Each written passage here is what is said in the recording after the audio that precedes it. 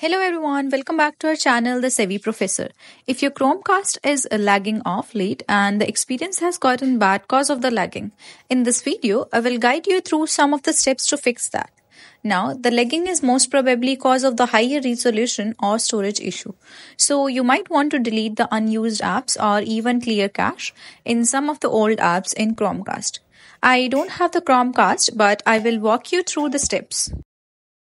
To fix the resolution, because it might be cause of higher resolution than your TV or your network can handle, you might want to downgrade it.